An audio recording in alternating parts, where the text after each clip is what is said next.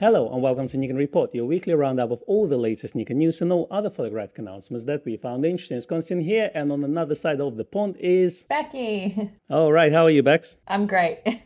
Yeah, okay. Yeah. Well, that was short and sweet, so let's talk news then. All right, well, apart of all the things happening in the world right now, there was a CP Plus, which was virtual, and uh, Nikon had some videos to show us. Uh, one thing that we saw on that video was 800mm Z lens, so in the flash, which was really nice, so we can actually judge the size of it, and it looks like it's not going to be very big and heavy. no, it looks fairly small and light, and in fact, although the lens specs weren't actually announced, they they've put a comparison photo up, so you can kind of see that the the speaker, who was Takakawa-san, his hand's about 20 centimeters in size, so the total length of the lens is probably about 40 centimeters or less, and the maximum dia- diameter is about 10 centimeters or less. Okay, and another speaker said that basically it feels lighter than 500mm f4e lens, which is 3.1 kilograms. So that's a good indication it's going to be a small and light lens. Now, some comments on the on the size of the lens. We've seen last month a um, DPReview of forum post where people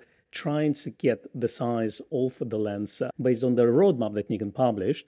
So there are some comparisons there. According to them, the diameter is going to be about 147 millimeter, and the length of the lens is going to be about 392 millimeters. Now, let's think about this. So we had Canon just announced 800mm f5.6, which uh, priced at 17,000 American dollars, and then they also released a 1200 f8 lens as well, which cost a whopping 20,000 pounds. Well, let's talk about 1200 millimeters first because you know that's a quick one, and then we move on to 800 mm comparison. So. Do you think Nikon will ever make 1200 millimeter lens? I would be very surprised if they make a 1200. I think that Nikon are usually more inclined to make more sort of. I think 800 is the longest that they've made in a very, very long time. There was that stunning, what was it, like a 1200 to 8000. It wasn't that much. they made And there was, I think, 1200 to, to 1700 at 5.6 zoom, isn't it? Which was a bazooka. yeah exactly and that that was also quite a rare lens they tend to make more modest focal lengths as a rule and then just say look you can put a teleconverter on it so i imagine that's probably what they'll do with the 800 mil the the new teleconverters are so good that actually you could put a 1.4 teleconverter on there and essentially get your 1200 mil that way push it this way, absolutely. And then an interesting thing that Seth pointed out on our last week's live stream, he said that lenses like this would generally build in such small quantities, they would really go to rental houses more than anything else because obviously otherwise it will have to you have to remortgage your house effectively to just to buy one of those so does it make sense for nikon to release one i guess as a statement yes from let's say production point of view i think it's going to be such a limited quantities uh, does it make sense to just design the whole pipeline just for this particular lens? But please, viewers, do tell us in the comments below. Now, let's move on to comparison of 800 mm. So 800 mm from Canon is 5.6 versus 6.3 on Nikon. It looks significantly bigger as well. And I assume because of size and the aperture, it's also going to be more expensive. Obviously, the price of for Canon has been confirmed as seventeen thousand dollars. Do you think Nikon is going to be cheaper? I do think it's going to be cheaper if we look at the the price of the 400 mil 2.8 and this 800 mil is obviously not a premium lens. It is going to be a, a pf lens so it will be smaller and lighter. I just hazard a guess that it's going to be around the 10 or 11,000 price mark but i don't think it's going to be as much as 17 that's in pounds though not dollars. Absolutely, absolutely. You make an interesting point because if you compare it to 400mm f2.8 lens, then Nikon Z version cost $14,000 and uh, Canon RF, which is their Z mirrorless system, cost 12000 But then you're right, it is probably fluorite and PF lens, which means it's probably going to be priced accordingly. So yeah, as you said, if you mention 500 5.6 lens f-mount lens, it's not as expensive. So if you're looking at that price, and then it does look like it's going to be cheaper as well. Yeah, I mean, I don't know whether Nikon are trying to do something a little bit different with their 800 mil. They're not necessarily going for the premium top end professional market, but certainly something uh, you still, in order to spend 10 or 11 or 12 grand on a lens, you still got to have a decent chunk of cash in your pocket. So it's it's an odd one that Canon have done something so different. I would say it, the question is whether or not Canon's one is um, is aimed at professionals or not. I assume it is with that price price tag. What what do you think the Nikon one is not going to be aimed at professionals then? I don't know. I mean, looking at the picture of it, it's got the gold band, right? So it is considered a, a pro lens, but it is so much smaller and lighter. Yeah, it's like a symbol of quality, isn't it? Absolutely. I agree with you. But in defense of Canon, they also have an 800 f11 version. So it's f11 lens priced at $999. So which is cheap and cheerful, and I guess for let's say enthusiasts, it's going to be a good choice as long as you have enough light. Well, not in UK, but other places. I don't know. Do you think just because Canon has two options, and you can just going to release one, and it's going to sit somewhere in between the two, and then while having a golden ring, um, so it's not going to be as expensive, but also is going to be high quality. Yeah, that's my thought. Is that it might be exactly that not quite the the premium top end pro lens because they've got the 400 mil for that and obviously at some point or another we might see a 600 mil but I, I don't think that the 800 mil is necessarily trying to be that lens i don't know if they need it to be that lens interesting very interesting. Well we have some comments from nikon rumors and rc jenkins had we used several times. He had this to say. He said i've mentioned below what i think are the approximate lens dimensions. 140 millimeter by 386 millimeters. It will be almost identical in size to the 500 f4 e f mount lens. As far as other aspects, some of these might be obvious. My wild guesses, some element guesses like 20 elements, probably closer to 16, that the weight would be approximately two kilos or a little bit over. Mm. Yeah, it's actually quite interesting because if you look at the video and uh, there's a guy passing a lens to another guy with one hand and it looks very light so so yeah i i tend to agree with him that it's going to be on a light side yeah uh, i mean either that or that guy works out like seriously because being able to just casually hand over the lens with one hand. Just working his guns. Yeah that's something you can't do necessarily with uh, with a lens that's any heavier than two kilos i would say maybe three at the most but so you think he's basically flexing on the camera? I think that there's a lot of uh, a lot of guesswork that can be done based on that one little screenshot of that video. Can you see me flexing right now Yes, yeah, it's great. Yeah. I can yeah, see can it see right that? there. Because I can't, mm. I can't even feel it. so RC Jenkins also said on the MTF charts that they think it will be super sharp, above 90% across the board and closer to 99% for most of the frame. That's very interesting. That's an interesting statement. They reckon that it will be sharper than the 400 2.8S, which is the. I don't understand how that's possible, but anyway. That's just speculation, though. What do they mm-hmm. know? What do they Absolutely. And then he thinks that the price is actually going to be lower because he guessed that it's going to be between 10,000 and 15,000 K. But observing and learning through the videos like this and others, he thinks that actually the price will be between 8K and 12K, so centered around 10K, which is quite interesting. Again, this is based on a random comment on Nikon Rumors website, so to take it uh, with a grain of salt. But since there is no concrete information available as of yet. So we can just guess based on the videos we have. But in terms of announcement dates, well, it's still unclear. Nikon France posted on their social media that uh, on 9th of May, the French Nikon store will have 800mm Z lens available for testing. Yes, they've got something which is called Je Journée Portée Ouvert Nikon Photo and Orient. What does that mean? I don't speak French. S'il no. vous plaît. Should have done a Google Translate on that. Anyway, they seem to have an event which is also showcasing the 400 mil as well as the Z9 on top of the 800 mil. And based on the the little bit that we can glean, because our French is is non-existent, there may be birds involved as well. it's pretty much safe to say that 800 mil announcement is imminent because we've seen the lens in the flesh. It's pretty much out in the wild, so all we need to know is basically when it's coming in full specifications and the price. And I think we will see it very, very soon. Absolutely. Now for some Z9 coverage. There's a little bit more from CP Plus that we've seen. They've been talking about some Z9 custom shutter sound beta firmware. Hmm. very useful. Aren't we glad that this is a possible firmware update? So the custom shutter sounds apparently included a cat meow, a speaker's voice, the D750 sound, the F4 sound. A popular vote was also held for the shutter sound, and Nikon is positively considering the inclusion of this feature, which I personally find terrifying. Okay, so which one would be your favorite shutter click sound? I mean, I'd love just a standard, classic, you know, machine gun F5 sound. That was a heavy sounding camera. But uh, if we were going novelty, novelty sounds, then maybe like bird chirping, that would be quite fun, or something like that.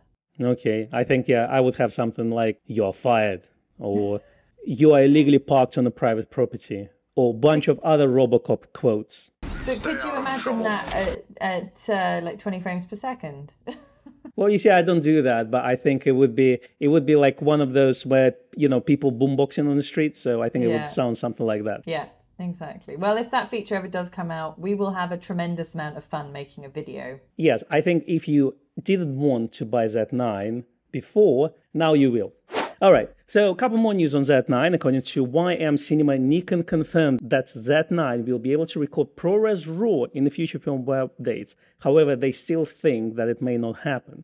So basically, after the cancellation of the ProRes RAW feature in DJI Ronin 4D, Nikon Z9 buyers, according to YM Cinema, started to worry about the same will happen to their camera. So they reached out to Nikon and asked the simple question Will the Nikon Z9 allow internal recording of ProRes in a future firmware update? What did they say, Becky? They said, Thank you for your question. Currently, the Z9 can record ProRes 422HQ. This can be captured in 10 bit 422 video up to 4K ultra high definition 30p. This can be captured in camera currently. The future firmware update will allow for capture of 12 bit RAW video formats. These formats include NRAW, Nikon's original RAW video format, as well as ProRes RAW HQ. So there you go. Nikon has confirmed that the Z9 will be able to record ProRes RAW HQ internally. Okay, they're still on the phase though, because uh, what they say, Nikon must pay a Red Digital. So you know the Red, the company that does uh, Red Digital cameras, they have to pay their licensing fees to low internal ProRes RAW recording of Z9, and they hardly see Nikon fighting that. It's a difficult one because uh, those license fees been everywhere, so pretty much. So in terms of this, I don't see why not. I definitely think that we're going to see Blackmagic RAW on Nikon cameras since they had that in the past and uh, it is compatible with uh, Blackmagic RAW recording devices as well. But we shall see. Okay, according to Seth Miranda, who we talked to last Friday, he reckons 8K 60 frames per second, as well as other firmwares, will come for Z9 and other cameras in April. So I assume that ProRes hopefully will include in there. Hopefully not on 1st of April because we all will be disappointed. Yeah, fingers crossed. It's nice to have a confirmation from Nikon with all those things. Unfortunately, yeah, I do agree with them. I would take it with a grain of salt because it would come from someone who doesn't have actually input into the firmware space. Very true. Tech Radar published an article called Nikon Explains Why the Z9 Ditches the Mechanical Shutter and Why It's a Big Deal. They spoke to product specialist Dirk Jasper, who told them why Nikon went all electronic in their shutter. Absolutely. The gist of it is they say that uh, electronic shutter can go to 32 thousandths of a second, which is obviously beats mechanical shutter, yada, yada, yada. We heard all this, but if you want to read this interview, definitely do check the link below. And then we had more Z9 tests. Photographer Igor Todisco published a video on the dynamic range of Z9, and according to him, it equals to 14.33 stops. Now, what he did is he basically took 78 shots with uh, X-Rite patches and uh, basically from very bright to very dark and then compared it in software. And then, according to his calculations, we'll have 14.3 stops, which is pretty good for camera of this type. Definitely. Now for some third party news for you. Yongnuo YN85mm 1.8Z DF DSM lens for Nikon Z mount is coming soon, and this is an autofocus lens for the Z mount system. Absolutely. According to Nikon rumors, it will be announced on the 31st of this month. All right. I'm just going to wait for 31st of February to come in and uh, wait for the announcement on that day. The 31st of this month. Yes. That's quite difficult considering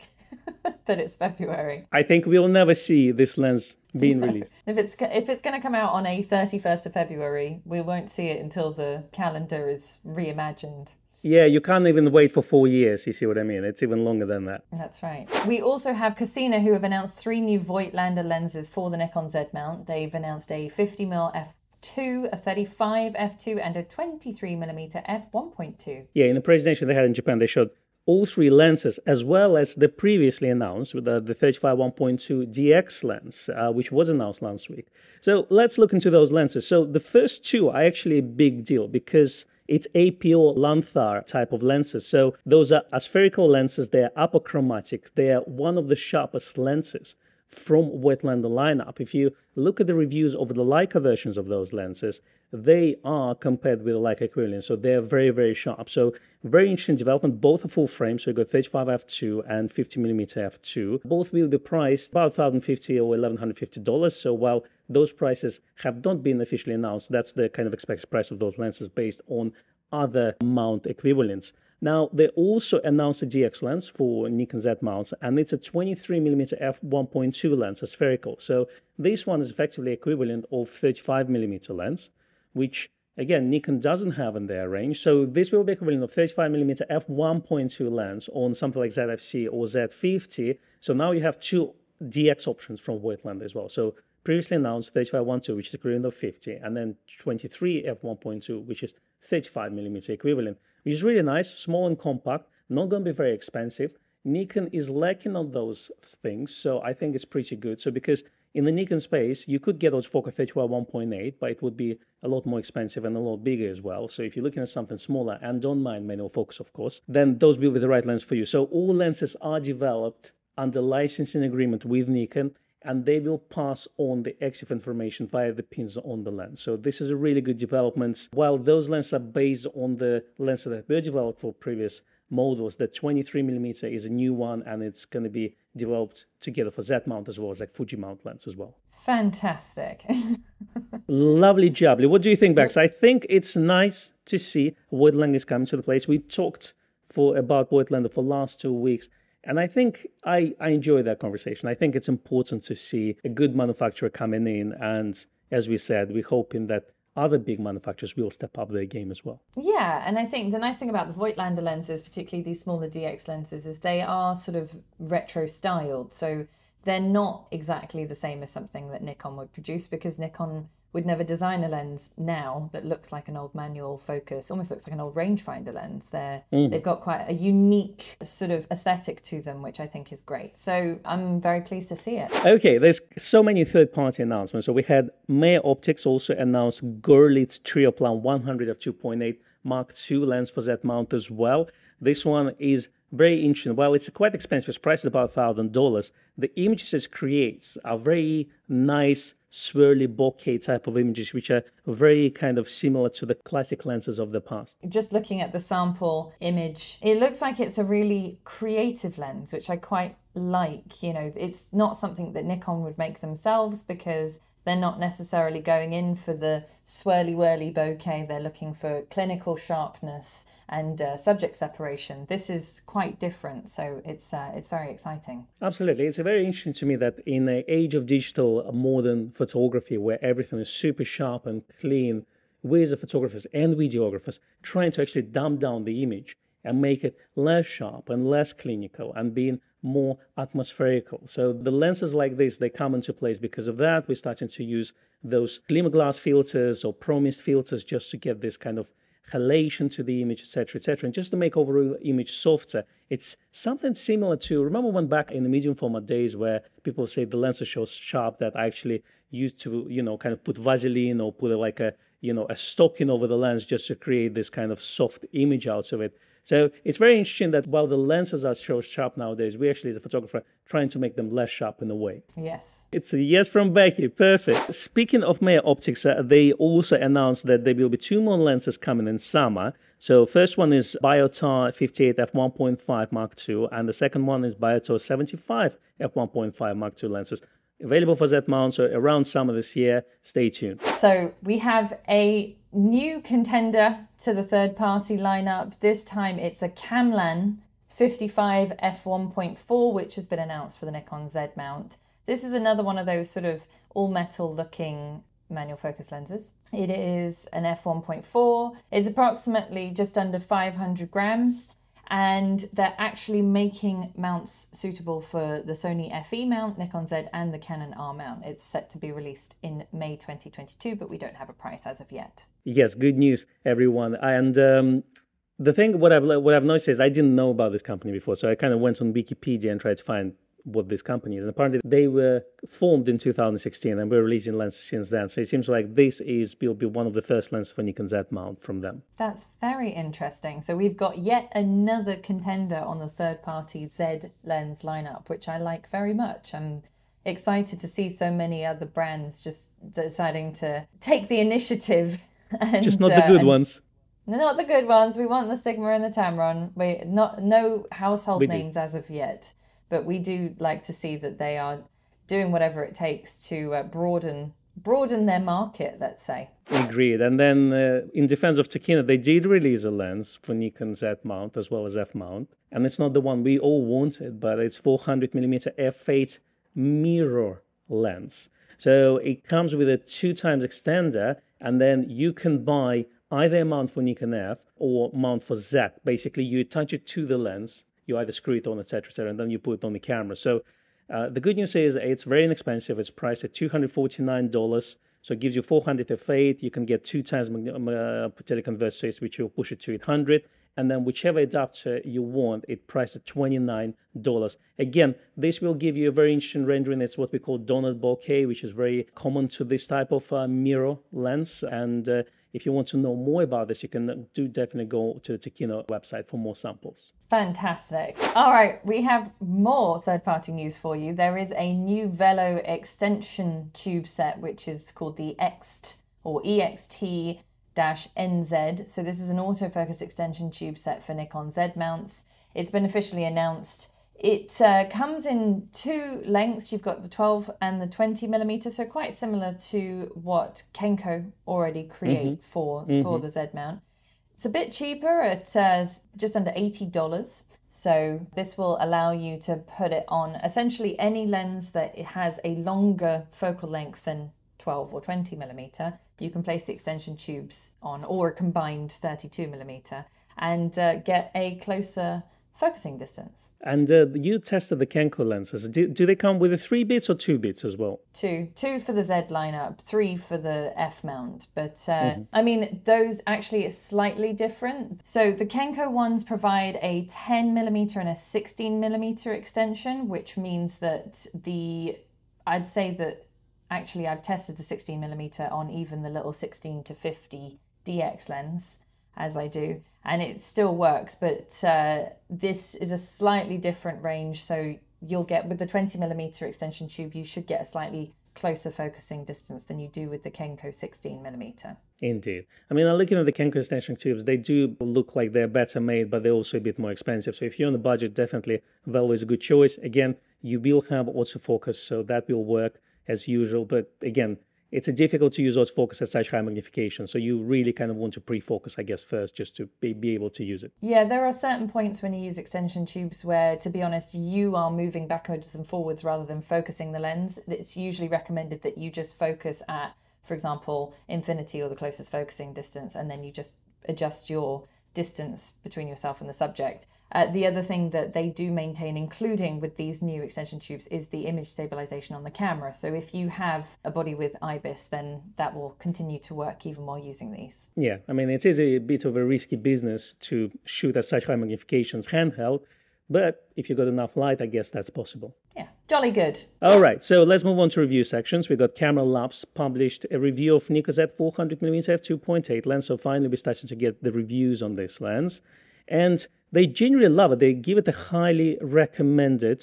despite its high price, according to them. So, what are the good points, Becky? They've said it's got excellent resolution and contrast across the full frame at the 400mm focal length. They like the built in converter and say it's got very effective optical image stabilization, along with very good close up performance, little vignetting, practically no chromatic aberrations or fringing, reliable AF, nice bokeh, good weather sealing. And they said it has a nice lens pouch. Oh, wonderful. I'm very glad that the pouch is amazing and nice. So, I just want to congratulate Nikon on this one. Most important. Exactly. So from bad points, they didn't like relatively strong focus breathing. Tripod foot is not Arca Swiss compatible. That is a common thing on all of their reviews of Nikon long lenses. And then relatively high price, which we discussed. And in terms of this, yes, it is a high price for this, but for this type of professional glass, I guess it's a reasonable price. I mean, I'm not, of course, I would want to pay five thousand pounds for it instead of fifteen thousand, but I don't think in this world it is possible. Unfortunately, not. But overall, a really nice impression of the new 400 mil. I think we're going to start seeing more and more reviews coming out over the next few weeks, so do keep an eye out for those. Yes, Matt Irwin, who is going to be on our live stream with me this Friday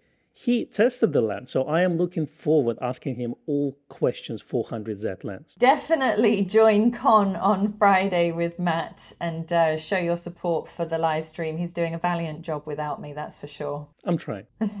looking forward to my one month off somewhere in the Caribbean. yeah. Speaking of the lovely Matt Irwin, he's actually done a review of the Viltrox 51.8 versus the Nikon Z 51.8. Eslands, and he's entitled it "Cheap One Any Good?" question mark. So he's shot some real-world images with that. It's worth having a little look at if you're interested in how these sort of cheaper third-party lenses perform and stand up against the the real article. Yeah, he had actually an interesting comparison. He said sharpness-wise, they're quite close, with the Nikon being slightly better, but then if you don't mind chromatic aberrations, then you can go for the ultra lens because those focus performance is roughly about the same. So if you need a pure image quality and Nikon design, then of course 51.8 is a perfect choice. But if you want to save a bit and keep the sharpness, then go for Viltrox. He raised an interesting point, and uh, Seth mentioned as well, which I didn't think of before when we talked about third-party lenses. He said that basically, if you buy a third-party lens, you need to be prepared that with the new firmware, your lens may not be compatible because they may break some sort of communication pattern. And because those lenses effectively reverse engineer the autofocus system, then any new firmware can break that thing. And then you will need to basically upgrade the firmware and the lens, which may take time for them to release and patch up. So it's an issue thing. I didn't think of it before. I thought in a way that you just buy the lens, you, you just, you know, something like, well, we're thinking in terms of, let's say, Sigma lens and Tamron lenses per se and you buy lenses and it's pretty much guaranteed to work with all lenses. But even in the past, we've seen that some Tamron and Sigma lenses were not compatible with Z cameras, and then they had to issue an update to do that. So I didn't think of it. It's definitely something that I would now think of when buying a third-party lens. I concur. it's worth consideration, that's for sure. Yeah, and in the last two weeks, we also published a couple of reviews. So we did publish a 28 and 40 millimeter pancake reviews. Do, do check it out on our YouTube channel. And we also did a mini review of 18 to 140 lens as well, which is also available on our YouTube channel. Yes, go give those videos some love, please. We are actually at just under 12,000 subscribers. We would very much appreciate it if you would give us a follow just to push us over the 12k mark and uh, definitely give those videos some love and some likes. Indeed, I think 12k is better than 11k any day. Yeah, exactly. We've already plugged the live stream for this Friday, but it is at a different time just to help out dear Matt a little bit more. He um, asked if we could do it a bit earlier so that he's not streaming in the dark in his kitchen. Uh, so it's going to be at 12 noon UK time. So please adjust your schedules as necessary to join in with Con and Matt at 12 o'clock this Friday. Absolutely. Well, I wish our American viewers to get up a bit early if you can, grab a nice strong coffee and watch our stream. It's about 7 a.m. in the morning. Yes, I will also do my best to join you at 7 o'clock in the morning. We'll see. And then also the live stream that you did with Seth on Friday was fantastic. So, if anyone hasn't had a chance to watch that yet, there was some very interesting discussions on all different camera brands, not just Nikon, but just a general kind of view of the market. And as Seth works for Adorama over in the USA, it's uh, it's interesting to see two different retail partners discussing what it's like in the market. So do go and have a little look at that if you haven't already. 100% agree. Very energizing conversation. I think when you're interested in something and you really want to speak how you feel, then people start talk fast and people come to you, guys, you're talking fast, but there's so much information just cramped into one hour video. So you can change the speed if you want to of the video. Slow it down. Slow it down just to to get all that information. Exactly. Put a candle on, get comfortable in your armchair next to the fireplace, and talk photography industry discussion with Seth and Con. Yes. Now, for a slightly different read and watch for you this weekend, we've also got the Z9 wedding photography with the Nikon ambassador Brett Florens. There is a video on the Nikon Europe YouTube channel about that. Yeah, nice techniques on studio photography and posing guides, which uh, a lot of photographers have difficulties with. Normally, we're good at taking photographs, but then when it comes to posing, experience shows. And generally, it's an interesting to see how photographers direct models into poses and how they get the shots out of it. So do check it out. It's very interesting. And then we're going to move towards wildlife photography, where we had two videos with Brad Hill. So first one he had at, with Nick in Canada, where they discuss Z9 in terms of wildlife photography. And then also the second video that he did is a discussion on ethics of wildlife photography, which is a very interesting conversation. I didn't think of ethics of wildlife photography because I just don't do wildlife photography. But for some of us who want to get into wildlife photography, I think it's going to be a very interesting watch. Very important as well. Indeed. And last but not least, Lens Rentals published an article called A Brief History of Early Lenses, Part 1. This article goes into the history of the first lenses ever. Again, for us photographers, it's going to be very interesting and educational material. Part 1 is available now, so I am eagerly waiting for the part 2 of this article. Excellent. And that's a wrap. Thanks for joining us this week. Yes, thank you very much for watching and or listening. If you're on YouTube, please do give us a like, give us a subscribe. We would love to hit 12k subscribers as soon as possible. And if you're on a podcast platform, give us a follow and possibly even a review. That would be very nice indeed. If you want to find us on the Instagrams of the world, you can find Becky at Rebecca underscore Danese and you at Konstantin Kochkin. Fantastic. We will see you next week. Bye-bye. Bye.